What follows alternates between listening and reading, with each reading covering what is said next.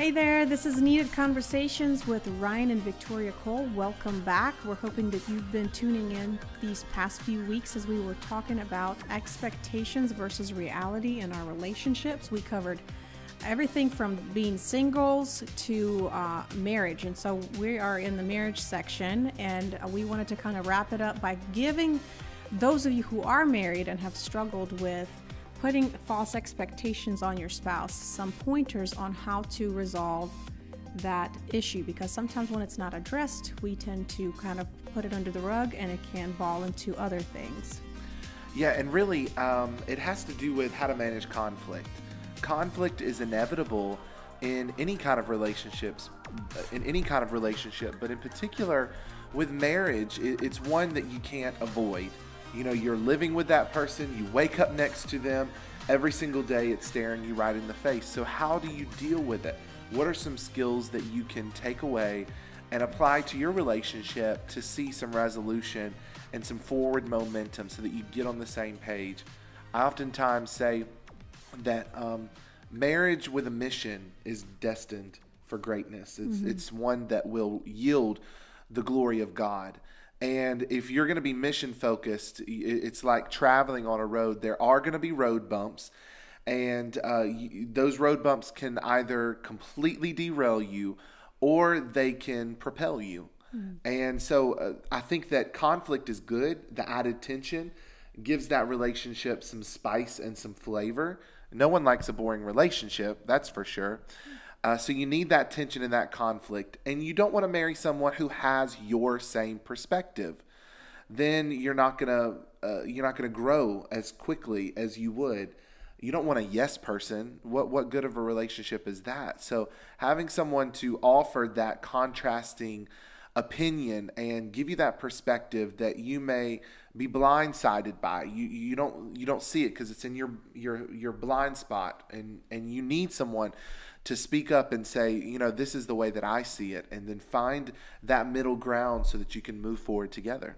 Yeah, I agree. And you know what? The it, that's a good point that he brought in that you don't want a person with the same personality as you. And as we heard the saying in the world, opposites attract, and it's so true scientifically. You know, even with the magnets, if you try to put one of the same side of the magnet, what it does, it actually repels. And the opposites actually attract to each other and they stick together. So that's a very interesting concept.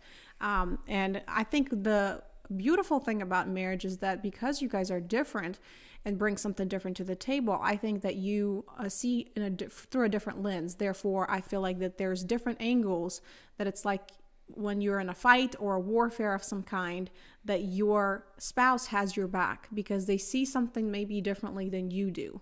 Um, so we wanted to take you guys through some pointers if you have uh, placed an unmet expect or have an unmet expectation in your marriage. Uh, how are some of the ways that you can resolve it? So number one is num- uh, you want to make sure that you identify that expectation because if you don't actually verbally say and like we've said in the previous episodes you don't want to say leave it for mind reading or for that person to figure it out because then they're going to be frustrated. So make sure that you identify the expectation because sometimes we actually need to sit back personally and say, well, what am I expecting out of that person? Maybe it's ridiculous, you know, maybe it's something that we should not expect of that person or something that this person can't fulfill. And if it is something that you're expecting from that person, you need to make sure that you communicate that.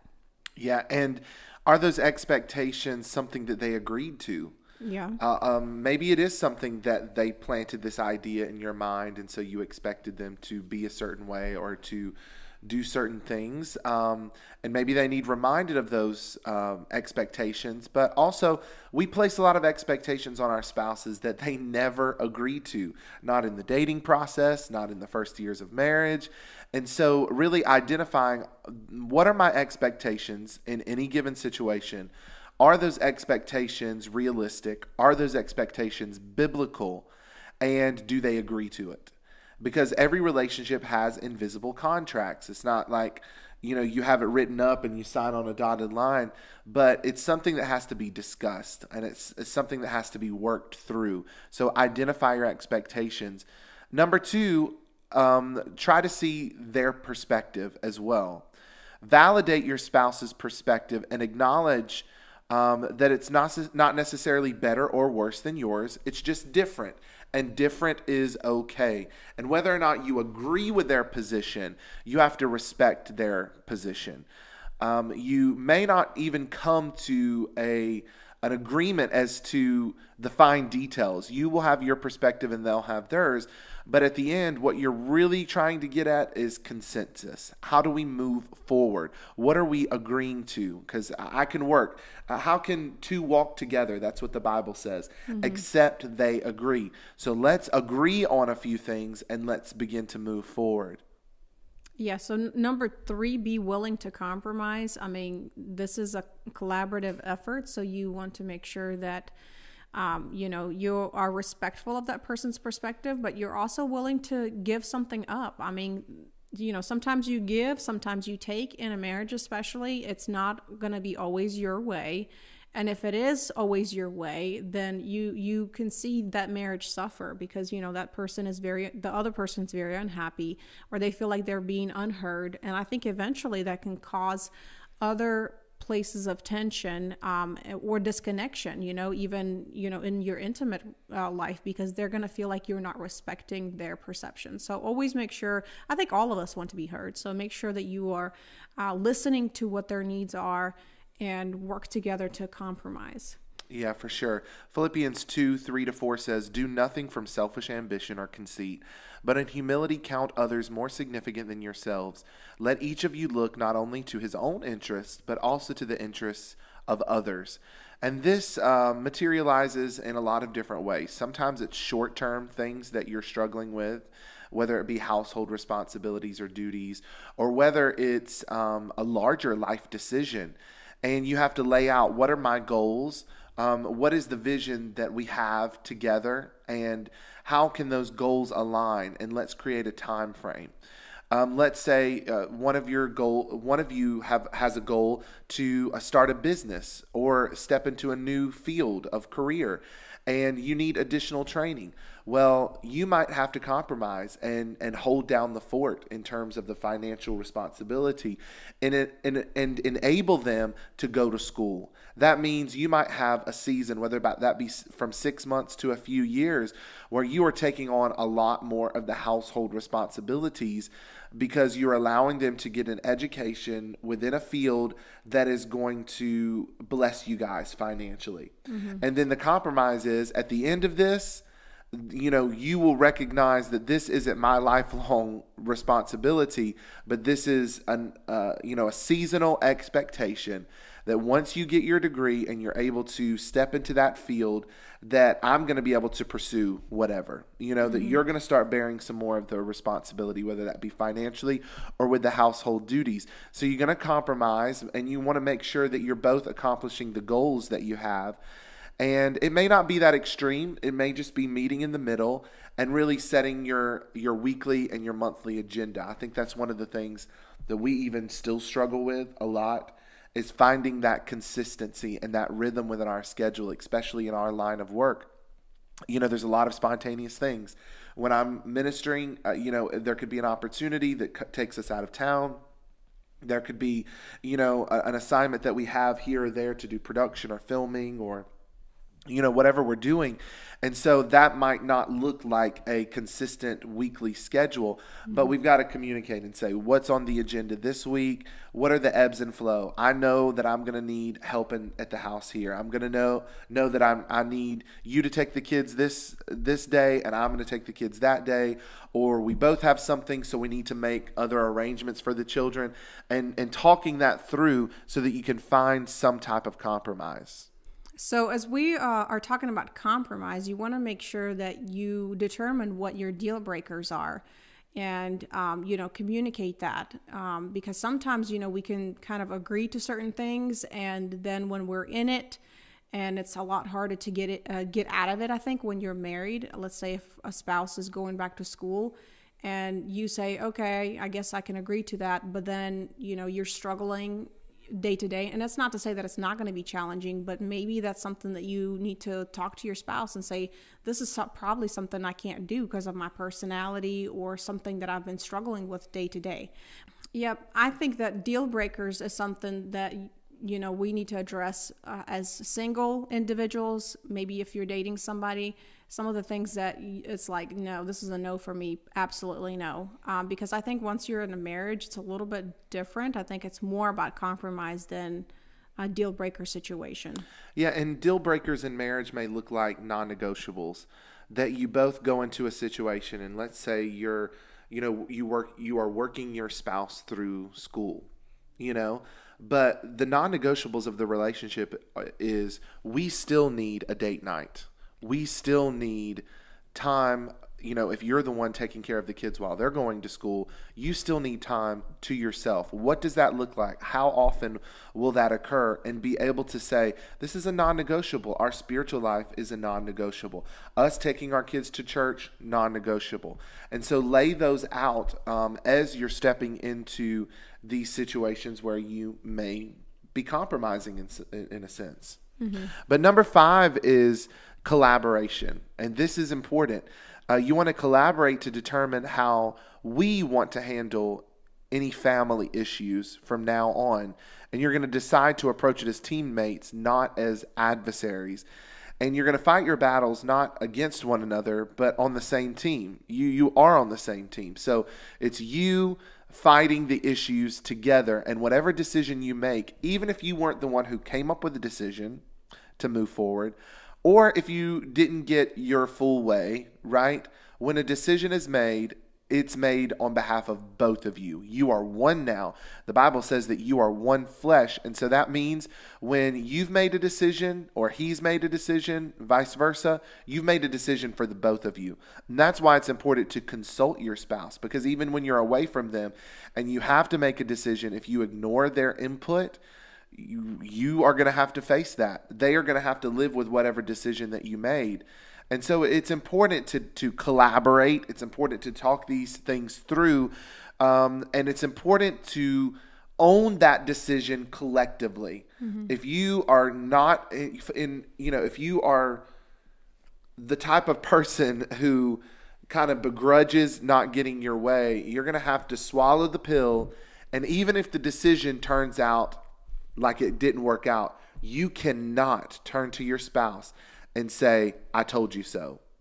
Or that's on you. If you would have just listened to me, blah, blah, blah, blah, blah. I told you that wasn't going to work, but some you made the decision together. So it's not a I told you so. It's a we have to pick up the pieces and learn from our mistakes and you pointing fingers at your spouse is only going to exacerbate the situation. It's going to anger them. It's going to push them away. It's going to drive a wedge between your relationship. So, whatever decision you make, own it together if that makes sense. Yeah, and I love that that it says we and our family, and I think even using that terminology um, as you're speaking and referring actually will help you to register that this is not for I in my situation mm-hmm. or whatever it is that you're dealing with. So you want to make sure that it's like when you represent a company, you come and you sell something, you say, well, we carry this and this and this. So this is how you come forward too with your family and how you collaborate together is that you say, we're going to do this. And then you want to make sure that you identify a solution where it's a win-win situation for both of you. And again, it's something that you both have to agree with because again, if one person makes that decision and now you're moving forward with it, somebody's going to be very bitter about it and there's going to be a lot of other issues, unnecessary issues that are going to arise and disputes and frustration and anxiety. So it's better to, you know, sit down and decide what we're going to do in the season, how, you know, this is going to function so that you both feel like you're kind of winning. And of course, there's compromise in a way, but, um, you know, set that up so that you both feel like you're being heard. Yeah, and listen out um, for the needs of your spouse. You know, a win win. There's always an opportunity for a win win situation. You know, if one of you is winning, the other one's probably losing, and that means you're both losing. So you want to you want to take turns compromising, or you want to you know listen for the needs of your spouse and make sure that you are not taking advantage of their you know their kindness or you know their willingness to bend a little bit. You want to be flexible as well. Marriage takes a lot of flexibility. Mm-hmm. and and finally, you know, once you've decided what you're going to do in a given situation, you want to make sure to come back after a specific amount of time and evaluate that solution and discuss how it's going for both of you and make adjustments as necessary. If you are six months into an agreement, a lifestyle change, and it's just not working for you, it has taken you and, and it's a tailspin for you, you are going to have to come to a different resolution. And you want to make sure that, uh, you know, if you if you if your spouse is taking on a heavier load in this season for whatever reason that you're mindful of that that you uh, are paying attention to their emotional cues to their social cues so that you know you're not overloading them beyond that which they could bear. It may be that they could only handle it for six months and you have to handle you have to put together a different um, expectation or set of um, resolutions where you may not be going to school full time maybe you have to go half time for a semester and give them a break and then go back to full time and try to manage it like that. And I know I'm just using that one example, but that can really be with any aspect of your relationship. How do you handle the little disagreements as well? Uh, anything from who's taking out the trash, who's doing the dishes when. I know Viktoriya and I have to, you know, come to terms with intense season of work for me in particular to know that I have this large event. It's going to take, you know, the next month and I'm going to have to put my full focus into it. That means that I'm probably not going to be able to contribute as much with the dishes mm-hmm. as I used to. But that can't go on and become a lifestyle. At the end of that month, when that event is over, I better get my tail in front of the sink and start doing my part. You better. or, you know, mopping the floor or this and that. And the same thing with her. If she's got something going on, a project like this Saturday, she went and did a project at her mom's house. And I took care of the kids. I knew that's something she wanted to do, and it's what she loves to do. And so, uh, you know, I, am taking care of the kids while she's doing that. And men, you're not, you, you never should tell your wife that you're babysitting the kids. It's FYI. your own children. So you don't babysit your own children. Say, I'll take the kids. I'll take care of it, honey. Because if you say you're babysitting, that's kind of saying these are your kids and not mine. Mm-hmm. But nevertheless, um, this is kind of how to manage some of the expectations in your relationship. Again, this shifts from season to season, and you want to readdress this as new things are introduced. If you have a baby, that changes everything. Mm-hmm. You're going to have to renegotiate the way things are handled. Men, you're going to have to pick up some slack for at least three to six months in a, in a heavy way because um, that's a biological thing. There's certain things that you cannot do. I know I saw a picture of somebody uh, feeding a guy feeding the baby with the bottle, and he had uh, the cutout of his wife on the side of his face. Um, and the baby was like bought into it. And sometimes those little things can work for sure, but you know, there's nothing like that mama time in the beginning stages of a baby being born. But you can help by taking up the slack around the house and making sure that she's got food and and all of that. These are just little examples. But and it's is, not a womanly thing. I know, like some men think, oh, that's a woman's job. You know, I think a woman would definitely appreciate a man stepping up and doing those things. It doesn't make you a wimp. It actually makes you very strong and makes you very supportive husbands. So go out there and if you want to conquer the world, start it in the kitchen and start it on the, you know, mopping the floor and then I'm sure that your wife will treat you kindly, if you know what I mean. But um, we're just speaking from our vantage point. Yeah. Uh, we actually have people in our family who are the the roles are opposite, mm-hmm. um, where the wife do, uh, does working primarily. And the dad stays at home and he absolutely loves it. And I respect it. And I think it's a really cool thing. You know, he wants to take that time and pour into his kids and their babies and toddlers too. So um, whatever works, however you feel called. If, if you're a woman out there and you um, feel that in you, go for it, but make sure your spouse is in agreement.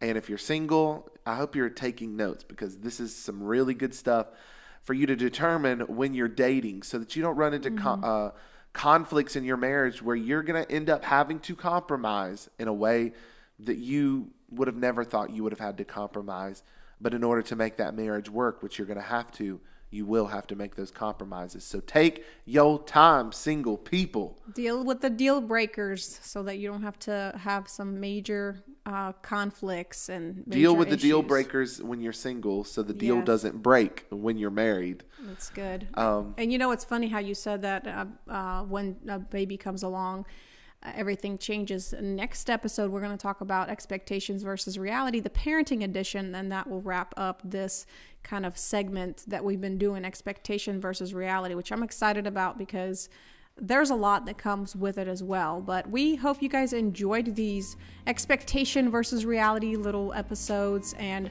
let us know how um, what else you guys want us to talk about in regards to either this topic or relationally would like to address it. Give us a review that will help us a bunch. If you know that somebody's dealing with issues in their marriage, please share. Send it to them. Share it on your social media. You just never know what this is with what this can do for somebody just hearing somebody else relate to what they're going through so be sure to do that uh, we would love to hear from you guys make sure you're subscribed. And um, if you're listening right now and you're not driving, if you're um, listening to a podcast, you can go back and get this information. In fact, it's going to be in the description below. Why don't you text us? We are going to give you our phone number so you can text us, and we do text back. And what we text back with is marriage strategies, um, strategies to help you discover your purpose, and spiritual growth and development. We're going to encourage you in your walk with the Lord, in your marriage or your dating journey, and also in discovering your purpose. Uh, put this number in your phone 864 428 7131. 864 428 7131. Just text us. Hi, this is so and so. I'll send you my contact um, information there so you can just text away, and both Viktoriya and I will be able to answer some of those questions, maybe even right here on our podcast. But either way, you will get a reply from us. We'll text you with some resources. Again on YouTube, love you guys. Make sure you subscribe. And until next time, this has been Needed Conversations.